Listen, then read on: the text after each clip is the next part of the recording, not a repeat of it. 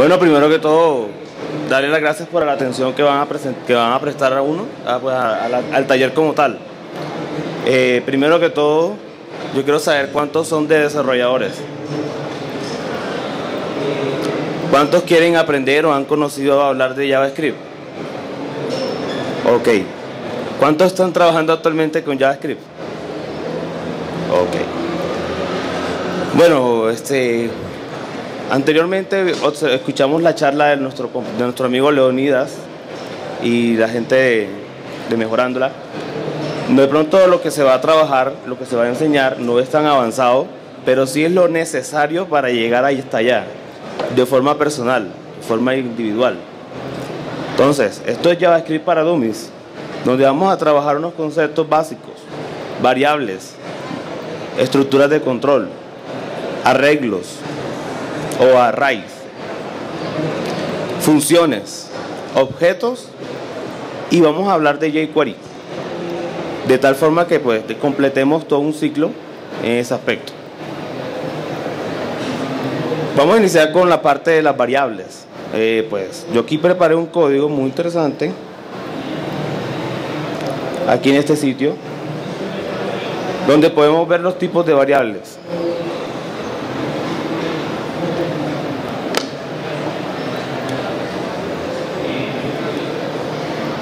Aquí podemos encontrar que de pronto podemos encontrar tipos de variables numéricos, eh, tipo cadena, solo string, tipo lógicos, los objetos como tal, y hay un tipo de dato que nunca está definido, pero que existe como un tipo de dato indefinido, que sería un defined. Vamos eh, pasando por, porque son cuestiones bastante simples para no demorarnos mucho en esa parte. Las estructuras de control, como bien sabemos, son ciclos, son condicionales que usamos a diario en nuestra programación. Tal vez coloco pues los dos más complejos que uno puede estar viendo para la gente cuando los desarrolla, que es el ciclo for y de pronto el condicional, que son los más importantes. Aquí yo tengo dos, dos, dos opciones para escribir eh, un ciclo for. Préstame el otro. Préstame el otro.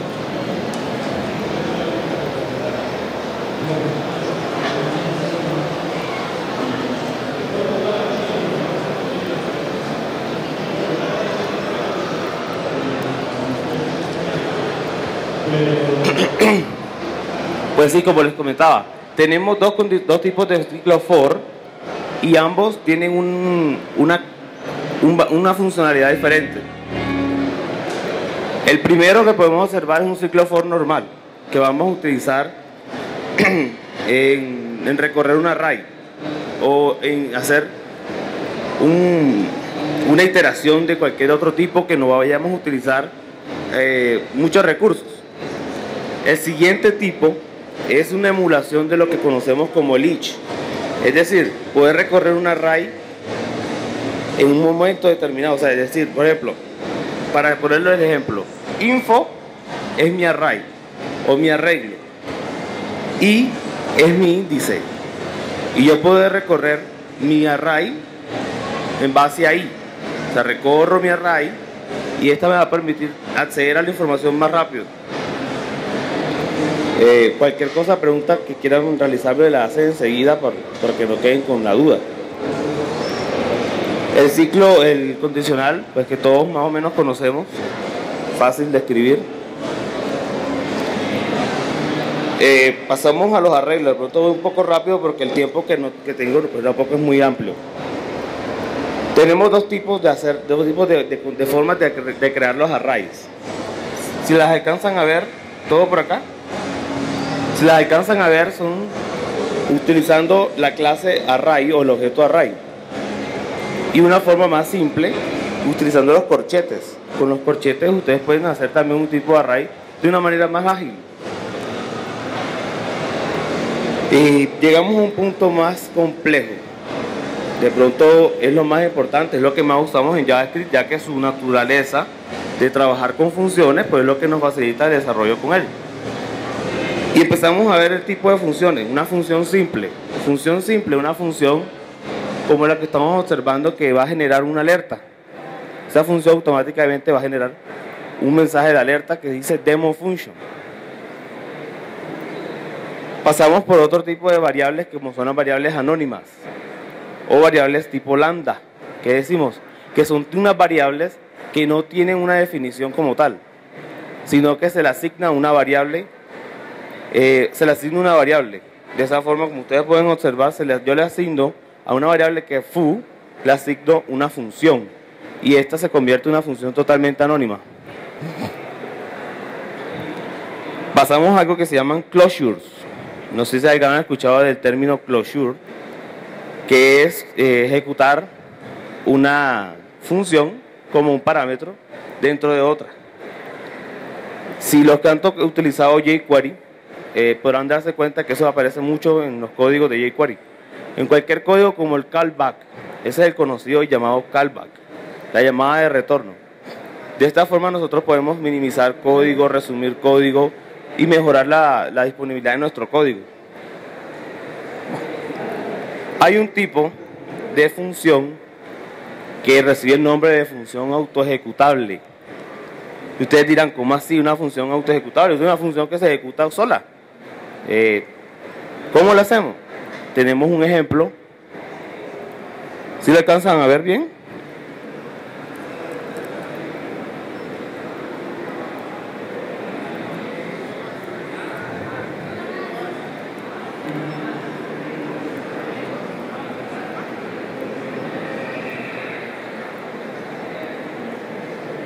Aquí, perfecto. La función autoejecutables nosotros la escribimos de tal forma que ellas se tienen que ejecutar automáticamente, permitiendo utilizarlas como constructores, como constructores de datos, armar todos nuestros datos. Esto es muy común verlo cuando estamos haciendo plugin de jQuery. Cuando creamos un plugin para jQuery o cualquier otro lenguaje o cualquier otro framework, va a estar utilizando las mismas formas de, de autoconstruirse los mismos objetos, de esa forma. Si ustedes pensaban que JavaScript no, orientaba, no, era, no orientado a objetos, pues sí, es orientado a objetos. Y la forma de crear objetos es simple.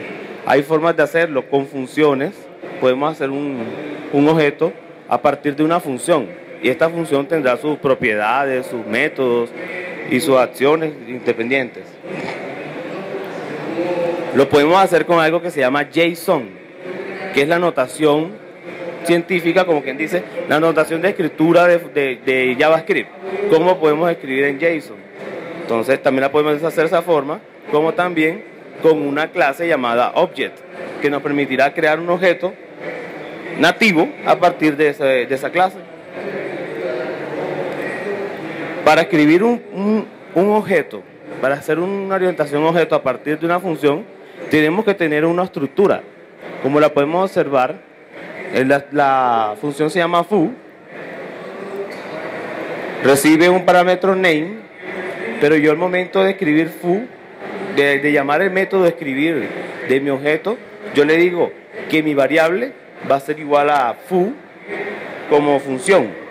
Y automáticamente se me va a convertir en un objeto y va a tener la posibilidad de acceder a los métodos que lo coloco de la siguiente forma. This punto, this punto y el método igual a una función anónima, lo que veíamos anteriormente como la, como la función lambda. Si lo que queremos es hacerlo más fácil, utilizamos notación JSON y lo podemos crear de esta manera. Simplemente decimos que mi variable es un objeto. ¿Cómo lo hacemos? Con, colocándole llaves. Una llave que abre y una llave que cierra. Le asignamos las propiedades, los métodos. Las propiedades y métodos se asignan colocándole el punto. Punto, la propiedad. Y la igualamos al valor. Punto, el método y lo igualamos a una función, que en este caso será una función lambda o anónima, para que ejecute una acción que nosotros queremos que ejecute. Y si lo queremos hacer con Object, pues hacemos la misma que hicimos anteriormente con la, con la notación JSON, pero le decimos que es un nuevo objeto. De esta forma podemos crear un documento o una información o un objeto a partir de la clase que viene nativa en JavaScript. Son clases nativas Estas no tenemos que, juntarle ningún tipo de, de librería ni nada por el estilo, ya vienen nativas en el sistema. ¿Alguna pregunta hasta el momento relacionada con este tipo de, de acciones? Para pasar a jQuery, que pues es un tema un poco diferente,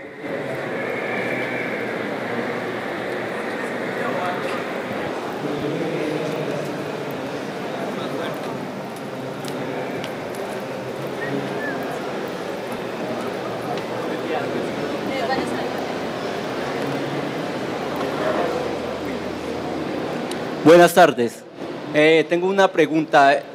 Por ejemplo, cuando usted ahora explicaba lo de las funciones, ¿cierto? Claro. Cuando, digamos, por ejemplo, uno crea o le asigna una función a una variable, ¿es necesario que esa función retorne un dato o, no siempre retorna un dato? Y, si, y si no retorna un dato, entonces, cuando yo tome esa variable, ¿qué datos me está mostrando o no me muestra nada? Bueno, si tú lo que quieres es que la variable te retorne, o que tengas un proceso como si tú orientaras objetos en cualquier otro lenguaje de programación, tú vas a tener dos cosas, que tu método te devuelva información o que tu método no te devuelva información. Entonces, tú dependiendo de tu necesidad tendrás que hacerle un retorno, un retorno de una, de una información como tal. Que si te una suma, registrarás la respuesta, pero tú lo puedes hacer. Tú puedes asignarle una variable de forma anónima y simplemente hacerle que retorne, que retorne, como esta parte, que retorne una información. Automáticamente, no necesitas, si, no es necesario, no es necesario en esa parte. ¿Alguna otra pregunta? ¿Alguna duda?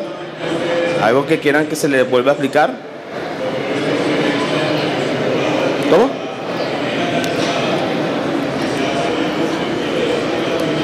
Bueno, eh, vamos a ver la ejecución de esos ejemplos.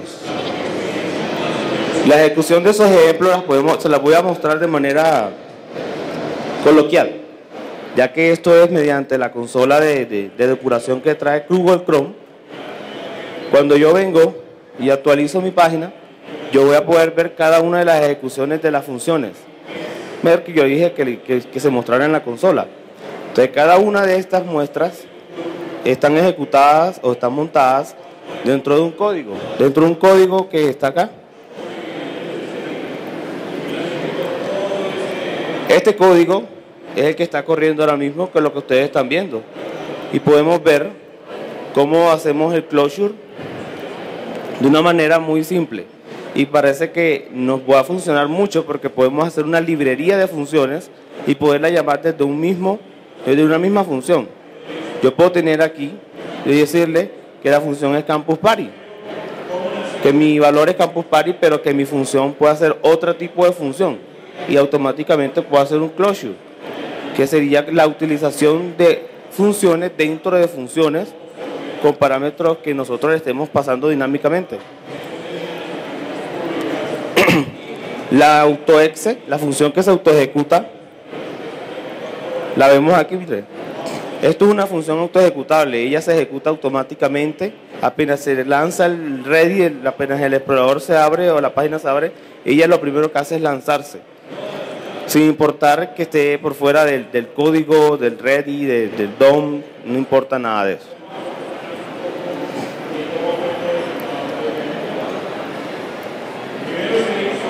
Eh, los objetos, como les explicaba, tenemos que inicializarlos, decirle que la variable va a ser igual a un objeto que tiene el nombre de la función. De esta forma yo puedo decirle que voy a utilizar cualquier método que esté dentro de ella, cualquier propiedad. Lo mismo con los con lo que se presenta, a diferencia de que las funciones, es que con, lo, con JSON no necesitamos decirle que queremos crear un nuevo, una nueva instancia de un objeto. No, no hay necesidad de hacerlo. Él nos permitirá hacerlo de manera dinámica y enseguida poder trabajar con esa información. Y ese tipo de datos JSON lo vamos a ver más adelante en jQuery, de una manera simple, donde también se utiliza. Eh, en vista que vamos a pasar, ahora vamos a pasar a jQuery, pues jQuery tampoco vamos a profundizar porque es bastante extenso el tema, pero vamos a hablar sobre algo sobre jQuery. Vamos a hablar sobre lo que es selectores de jQuery. ¿Qué es un selector? Todo, toda la información que se encuentra en la página web, lo que estemos cargando, ella va a tener alrededor de una estructura a la cual le llamamos DOM, el DOM del documento. Y ustedes dirán, ¿qué es el DOM? Muchos utilizarán y de pronto no conocerán qué es el DOM.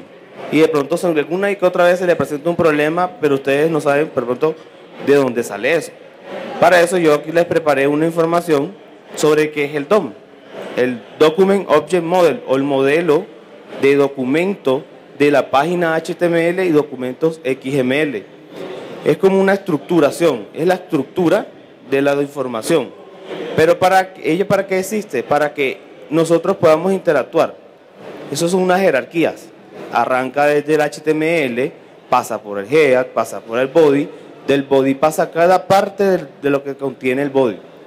Es una forma de jerarquía, lo que conocemos muchas veces, lo que hemos trabajado con CSS, lo que vamos bajando por las clases y los, por eh, los variables de identificación y. Para eso, yo les preparé algo sobre los, selectores de, de jQuery. Aquí tengo cuatro selectores. Hay muchos más, hay muchas formas de hacer los selectores. Estas son las principales. Por ejemplo, si yo quiero seleccionar todos los elementos que tengan algo igual, en este caso yo quiero seleccionar todos los enlaces, porque A es la etiqueta del enlace.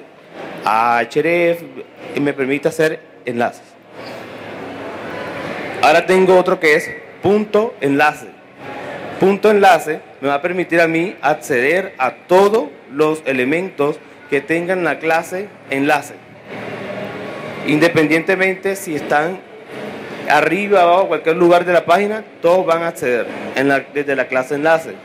Si yo le coloco numeral, es simplemente diciéndole que todos los elementos que tenga el ID igual a enlace. Su ID, su etiqueta ID, su tag ID se iguala a enlace.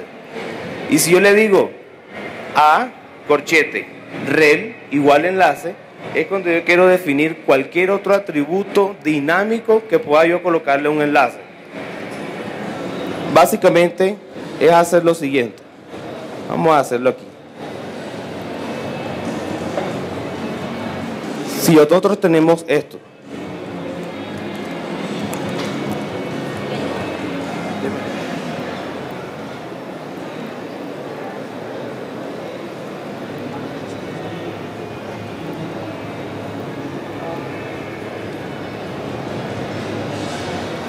Si nosotros vemos aquí, nosotros ahí no tenemos. Ahí nosotros nunca, nunca hemos conocido un atributo que se llama data ATTR. Eso no existe. Podemos colocarle cualquier otro. Podemos colocar un atributo que se llame campus. Y eso no existe. Y básicamente el DOM no te lo va a reconocer. Como si eso fuese parte de, de ese objeto como tal. Pero si nosotros utilizamos esta notación, esta forma de hacer el, selector con rel, nosotros podemos decirle a corchete data attrib igual a la información que nosotros queremos que tenga ese, atributo.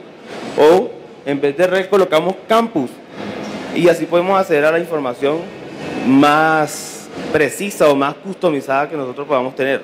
Esto, si ustedes se dan cuenta, en muchos plugins de jQuery Muchos plugins que están dentro de Bootstrap están usando este tipo de, de acciones que son atributos custom, atributos customizados. Y esto facilita mucho la vida en un momento determinado cuando queremos cargar cosas que no se pueden cargar en un lugar. Eh, este es el tipo modelo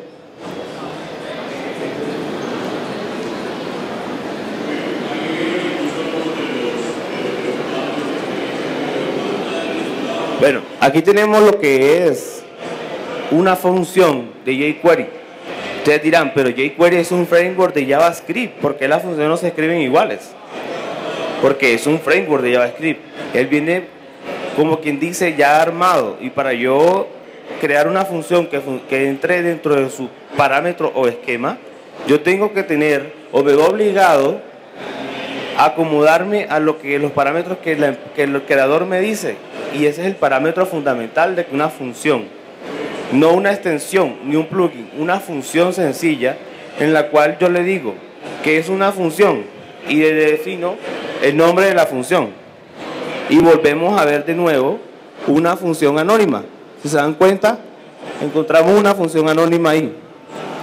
¿Cuál es la función anónima? Que me dice que voy a recibir una variable que se llama frName y empieza a realizar una serie de actividades para hacer un proceso determinado. En este caso, esta función lo que convierte es un formulario completo en un objeto JSON, el cual nosotros podemos enviarlo por una petición de Ajax. Así de fácil, con solo darle unos, unos pautas a nuestro formulario. Entonces, este es la, la básico de cómo se escribe una función en jQuery. Ustedes dirán, ¿para qué me sirve? Si ya casi todo está hecho y lo que no está hecho, yo no me puedo frenar porque no lo tengo. Tengo que buscar cómo poder hacerlo. Y de esta forma podemos modificar, podemos trabajar todo lo que tiene que ver la parte de, de las funciones.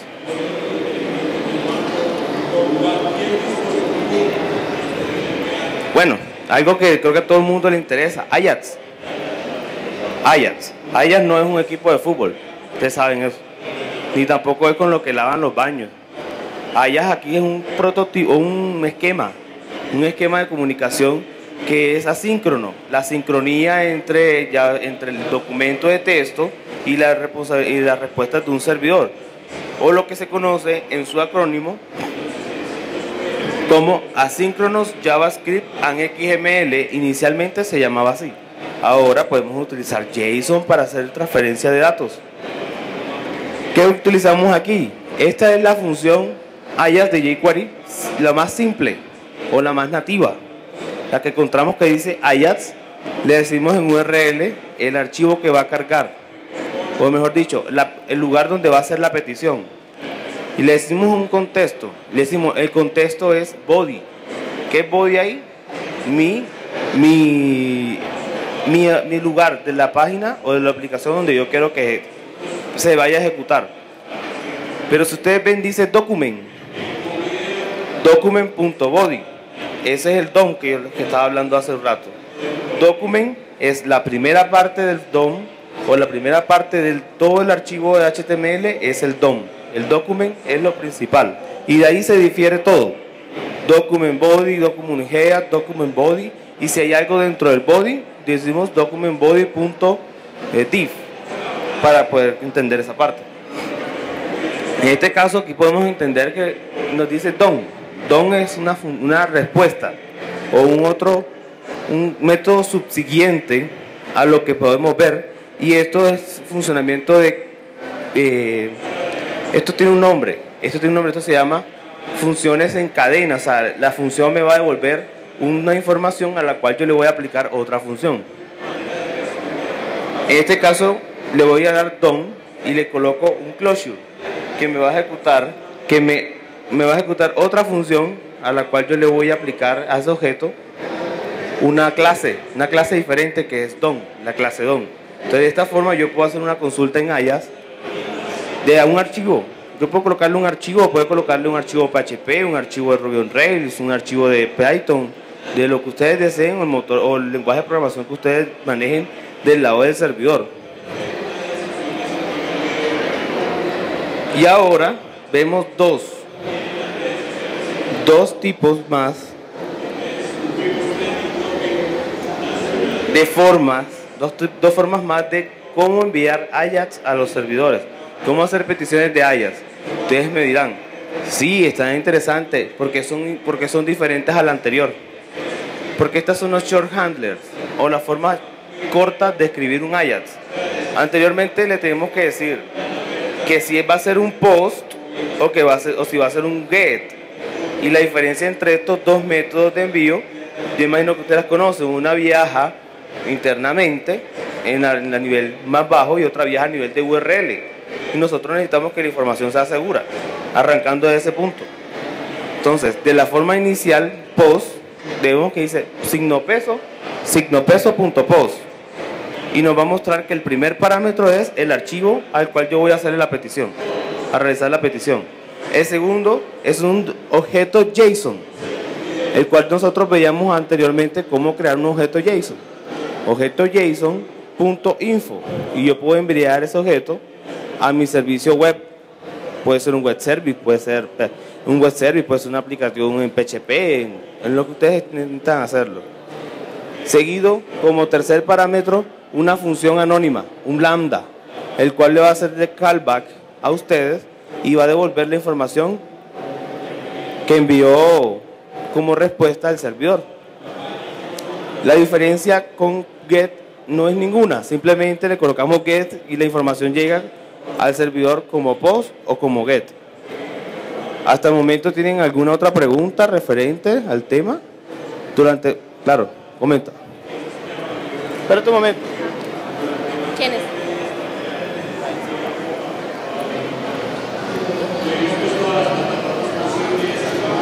Buenas noches. No me quedó claro el context en, en la función Ajax. ¿Cuál es el funcionamiento? La el funcionamiento de lo que es el context es el contexto donde se va a ejecutar ese Ajax. Normalmente, en este ejemplo, se coloca. Ya eso es inherente. Si tú vas a ejecutar un, un Ajax, tú lo ejecutas en todo tu documento. En este caso lo que tú haces es que va a aplicarse dentro del body. Como contexto va a tener el body. O sea, no tiene una función, eh, digamos que importante dentro del desarrollo de la, de la función. Digamos, yo he utilizado llamados sayas y nunca pues había visto esa variable me funciona normalmente. ¿sí? ¿Por qué incluirla? O sea, ¿por qué incluirla? No hay necesidad de incluirla. Es una decisión. Si tú la incluyes, te funciona. Si tú no la incluyes, también te va a funcionar. Eso es algo que, pues, que el, desarrollador como tal puede tomar la decisión. No es, no es importante en, el contexto de, lo que tú estás realizando. Porque si te das cuenta, en la función corta, en el modo corto de escribirla, no aparece por ningún lado y no la puedes colocar. ¿Alguna otra pregunta que tengan? ¿Entienden todo? No parece. ¿Pregunta? Tengo 32 minutos, tengo 30, 38 minutos disponibles. ¿Alguna pregunta? O si no, les traigo algo sobre Node.js. Ya que de pronto, de pronto, ustedes habrán escuchado que ya va... Mi vida. frenaron el arranque.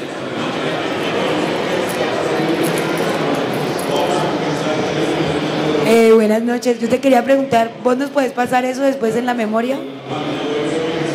Claro, eso va a estar montado, subido en la campusero. Ah, listo. Bueno, eh, yo no soy programador, estoy perdido. ¿Tú no, has programado? No. ¿O no has entendido? Eh, no he programado y pues sé poco. Digamos, yo he hecho el curso de ASCO de Codecademy en JavaScript y ahí medio medio. Digamos, te, sigo es un punto. Casi no hay problema. Yo soy sociólogo, estoy tratando de armar una plataforma virtual para la cultura. Claro. Eh, manejo algo HTML y CSS. Hasta ahí es, digamos que algo básico. Eh, quiero tener una plataforma donde pueda subir información constantemente sin tener que estar actualizando la página de manera interna. Es decir, utilizar, tengo planeado utilizar WordPress como plantilla de fondo en el back Claro. Para, manejar eh, todo el código de JavaScript y manejar la, pues, digamos, la ecuación de entradas.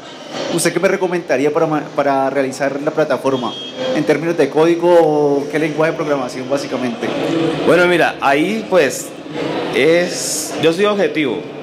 Lo, como hablaba con un amigo el día ayer, el lenguaje de programación lo, elige la necesidad.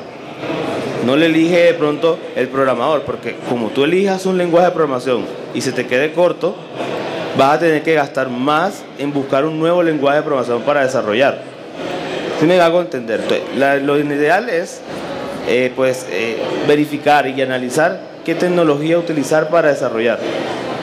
De por sí, tiene que utilizar JavaScript, porque hasta el momento lo que podemos encontrar para trabajos asíncronos en, en web es JavaScript. No tenemos hasta el momento otro tipo de lenguaje parecido a JavaScript para trabajar.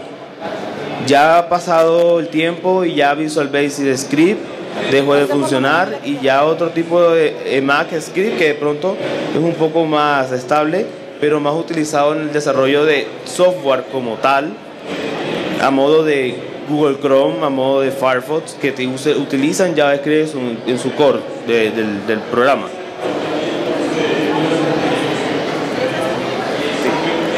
Ahora, como les decía, pues si tienen alguna otra pregunta para explicarles algo sobre lo que es JavaScript del lado del servidor.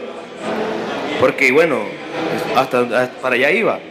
Muchos conocemos a JavaScript como un lenguaje de programación de que trabaja en el cliente, trabaja en el explorador, pero no, no sabíamos que también trabaja en el lado del servidor. Nosotros de pronto, ¿cuántos conocen de Node.js? ¿Cuántos han escuchado hablar de Node.js? se dan cuenta, no todos alzaron la mano. Es decir, no todos sabíamos que Node.js funciona, eh, que JavaScript funciona en el lado del servidor. De pronto no lo tengo información dentro de las diapositivas, pero sí voy a juntarles unas URLs para que ustedes puedan encontrar información más detallada. Pero básicamente nuestros amigos de Google, por así decirlo, ellos eh, en su creación de lo que se conoce como el explorador o browser más utilizado actualmente, crearon un motor, un motor que compila eh, JavaScript y lo convierte en C++, o mejor dicho, compila JavaScript y está escrito en C++. Este motor permitió generar información o permitió coger nuestros códigos escritos en JavaScript y ejecutarlos en el servidor mejorando tiempos de respuesta, mejorando una cantidad de, de procesos y creando lo que conocemos como las tecnologías de tiempo real o el real time. ¿Con qué? Con lo que conocemos también como HTML5. De pronto, anteriormente estuvimos viendo unas, unas eh, talleres y ponencias sobre HTML5 y no sé si alguno de los compañeros llegó a presentar lo que se conoce como WebSockets que pertenecen a HTML5 pero que en realidad funcionan con JavaScript. Ese tipo de cosas vienen de intrínsecas ahora, ahora mismo lo último que se está trabajando con JavaScript. Lo que son los sockets, lo que son el canvas, todo esto tú lo puedes manejar con JavaScript. SVG y todo ese tipo de cosas. De pronto, el tipo de, taller que queríamos que se quería entregar a ustedes era un taller como su nombre le dice, para personas que no tenían un conocimiento y pues quiero recibir su feedback sobre si es, si les sirvió, si entendieron, si quieren saber más, si quieren saber alguna otra cosa, si tienen alguna duda.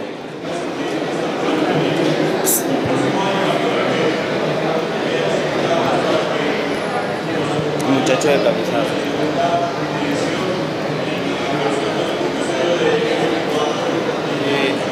En respecto a lo de los selectores, eh, quisiera saber, o sea, el DOM es una estructura, digamos, un árbol donde vos representás cómo es el documento HTML. Eh, la pregunta es, ¿cómo sería la sintaxis o cómo es el uso de los selectores padre-hijo? O sea, ahí lo está especificando por clase, ID, nombre, pero es posible, o sea, dentro del DOM especificar mejor las ramificaciones, por así decirlo? ¿Alguna vez tú has trabajado CSS? Poco, poco. Bueno, entonces te voy a explicar de una manera, aquí en tiempo real, así, como deben ser las cosas, cómo poderlo hacer. Resulta que, por ejemplo, aquí tenemos un, un selector que dice enlace. Nosotros aquí podemos colocar un selector que diga caja. Y yo digo que dentro de mi caja tengo un enlace. Ese selector me está diciendo que mi hijo que me aplique una que me aplique algo. En este caso yo puedo decir esto. Que me aplique un evento. Un evento mediante on de esta forma y digo que es un clic. Y yo le digo que cuando se le dé clic al, al, o sea, al, al, enlace que está dentro de la caja, él me ejecuta un evento como tal. Entonces, ¿cómo puedo yo hacer ese selector padre-hijo y hacer la jerarquía? Mediante los, eh, el signo de mayor que. O sea que se podrían usar cuantos nodos. O sea, claro, puedes usar ahí adentro. Puedes usar cuantos nodos sean necesarios. Tú puedes hacer que caja tenga otro adentro que se llame B. Y B tiene un, un enlace. Y así poder extenderte. Ahora, si tú de pronto es un poco más avanzado el tema que te voy a comentar ahora, pero tú también puedes hacer esto. Resulta que tú tienes una caja. Tú tienes una caja. Pero tú en esa caja tienes una, una clase B. En este caso tú le puedes decir así. Esto en inglés se llama buscar. Y tú le dices que tú vas a buscar B. y le puedes decir que vas a buscar después A. O sea, lo mismo que estamos escribiendo con los mayor que, lo podemos hacer también utilizando la palabra reservada del framework como find. Búsqueda. Búscame dentro del DOM. Find lo que hace es que busca dentro del DOM del documento y de esa forma podemos aplicarle a la respuesta que nos trae una actividad o una acción específica. Muchas gracias. Ok, siempre la orden. ¿Alguna otra pregunta? ¿Entendieron todos? ¿Por acá? ¿Alguna duda? Bueno, ah, apareció otra duda por acá. Ahora hablaba usted sobre Node.js, que se puede trabajar del lado del servidor con JavaScript. Quería saber si ese código de JavaScript el cliente lo podría mirar. ¿Cómo así? ¿Cómo sea el cliente? Eh, me refiero al, momento de que la aplicación ya está ejecutada. Ah, ok, no. O sea, es como si tú trabajaras del lado del servidor. Lo que, lo que te llega... Es lo, mismo como si trabajan... Exactamente. Exactamente. Está escrito en JavaScript. Y su modelo es diferente. Su modelo es trabajar por eventos eventos de entrada, eventos de salida, que es como peticiones. Las peticiones que se le hace a un, a un archivo PHP o cualquier otro tipo de, de, de, solución que utilices como un lenguaje de programación del lado del backend. Ah, ya. Gracias. Ok.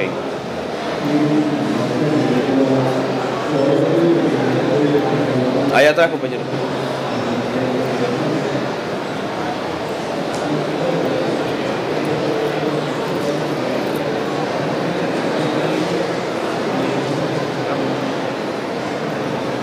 ¿Cuál es la diferencia para extraer información de, eh, en cuanto al código, para extraer información de un archivo XML y de uno JSON?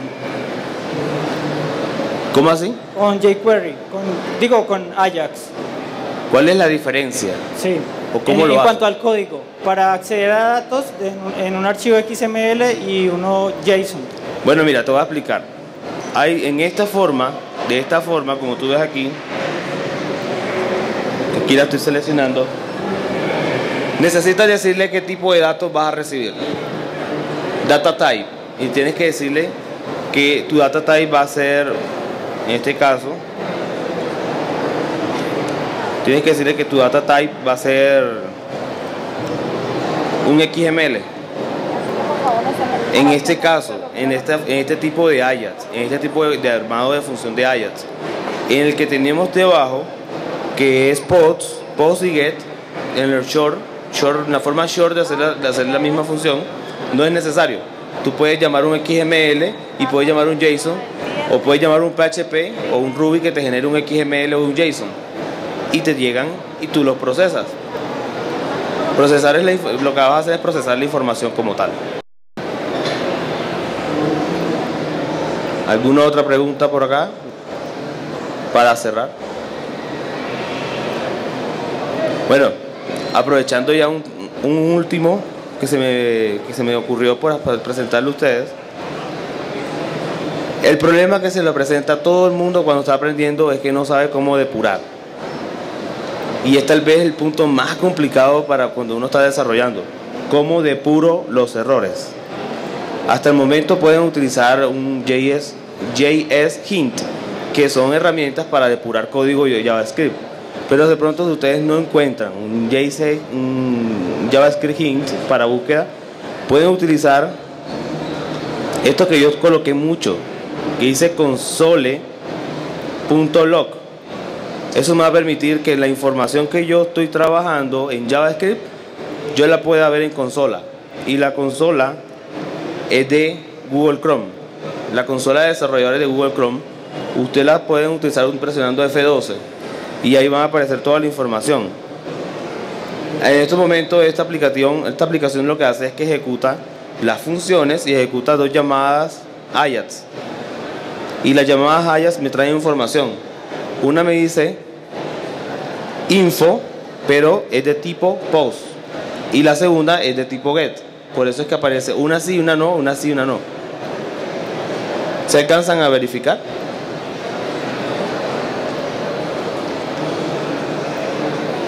Entonces, este tipo de, utilidades son tal vez las, pautas o los tips que yo les puedo dar.